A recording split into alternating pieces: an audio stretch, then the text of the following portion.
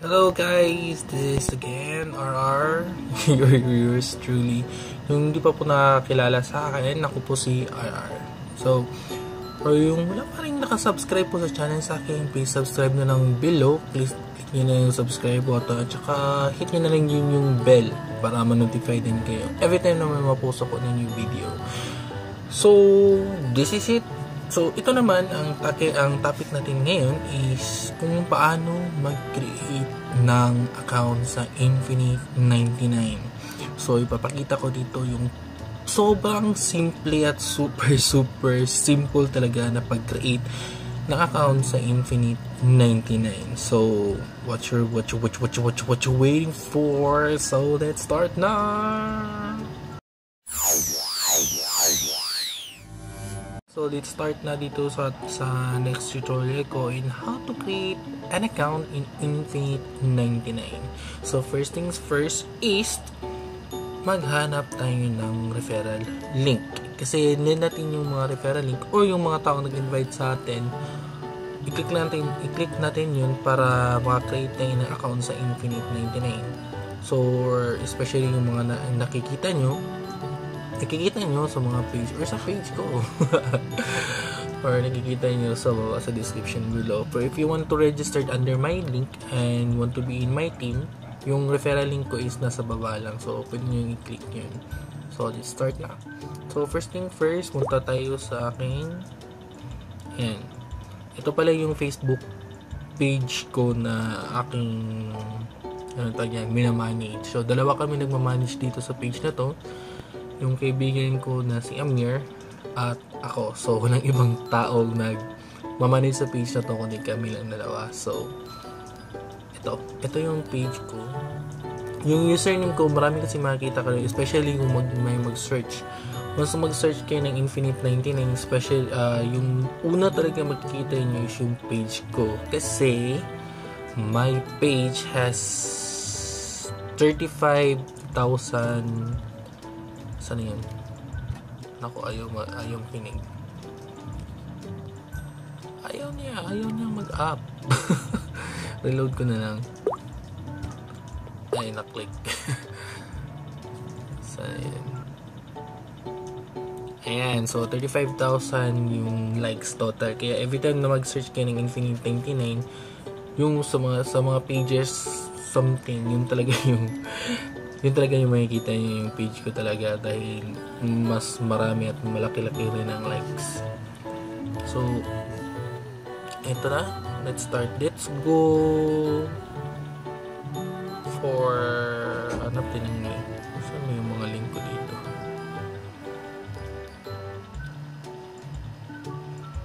Um, sana yung link. Teka hanapin ko lang. Hindi to eh. Parang, parang may link to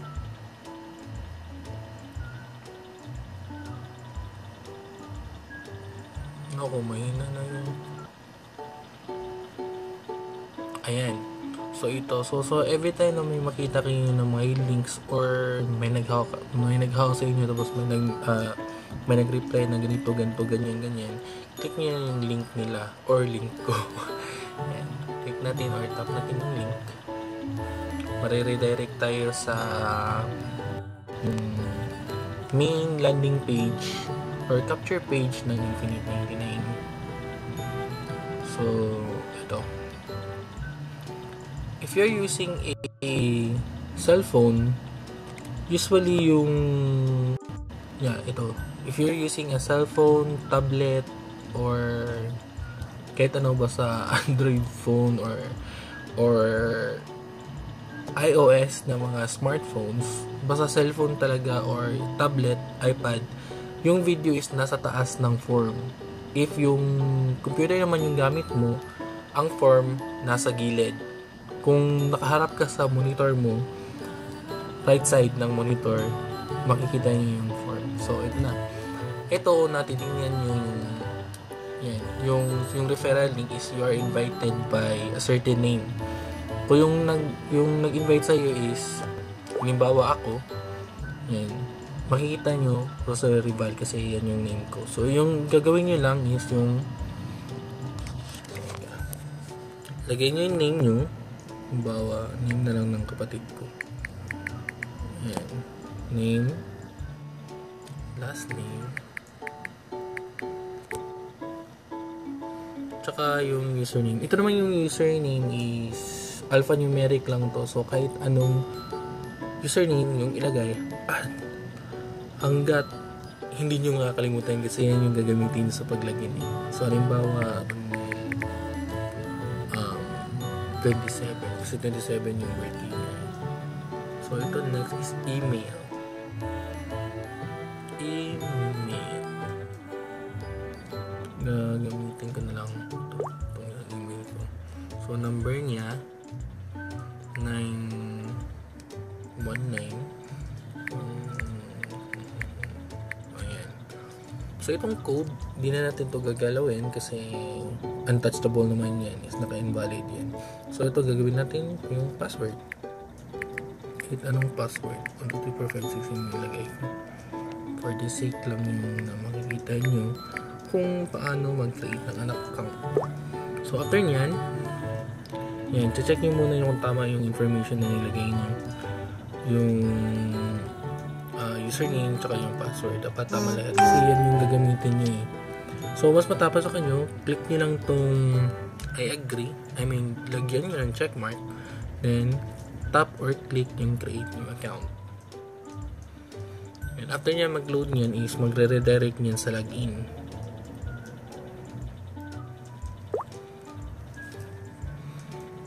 And so, lagyan nyo yung bagong, bagong create na account. Email. Yan, 27, tapos yung password. Yan, tapos, login.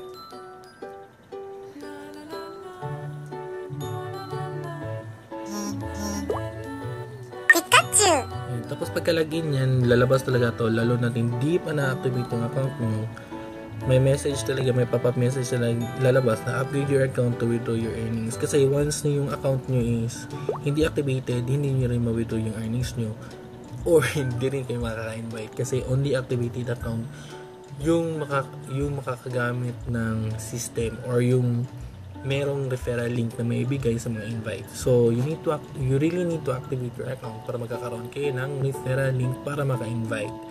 Also, ma-activate din ng upline mo or namin, kami, yung upline mo or sa admin diretso, pwede naman sa admin sa mga upline nyo. So, ma-activate yung SIM card nyo for AP ng loading. So, once activated your account, it costs 99 pesos only ma-activate yung account nyo as the same time activate yung SIM card nyo for loading sa Pinay platform. So, yun lang.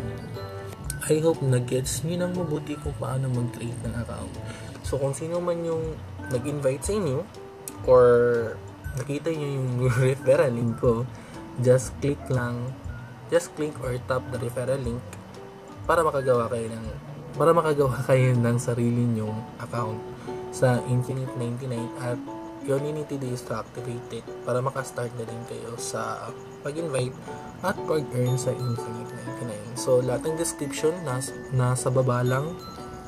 Pa-check na lang niyo ang description baba, yung, sa baba, yung referral link ko, uh, link ng grupo ko, at saka link lahat ng social media account ko. So, click nyo lang, follow, or follow nyo mas better din kung nakasubscribe kayo dito sa aking face, uh, Facebook, este YouTube channel para naman meron kayong ma gets na mga new uh, new tips or strategies na may post ko dito sa aking channel. So, yun lang.